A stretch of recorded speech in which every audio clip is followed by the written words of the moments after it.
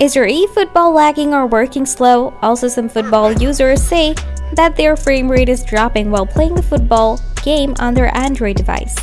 Now, if you find that you can play the football game because of lagging, slow, or frame rate, then watch this video to learn a quick way to solve these stuck at loading screen issues for the eFootball 2023 game. So let's get started. First to solve this first, you need to solve your graphic drive and you need to boost your RAM on your Android device.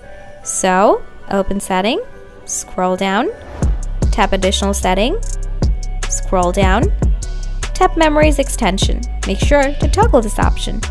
After that, go back, tap developer option, scroll down, find graphic drive preference setting. Now find out eFootball apps. Now choose System Graphic Drive. After that, solving the graphic and boosting the RAM, you now need to open setting, scroll down, tap apps, tap manage apps, search for eFootball apps. Tap on it. Now first turn on auto start.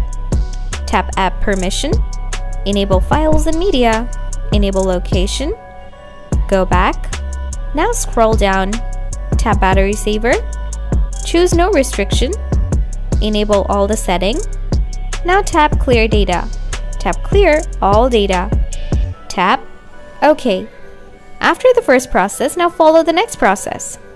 Now tap on the Google Play Store, tap search option, type eFootball, and quickly check for a new software update for an eFootball application.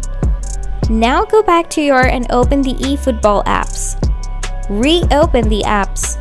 After following the process, please comment below if you still have issues with lagging or frame drop on your eFootball game. Thanks for watching.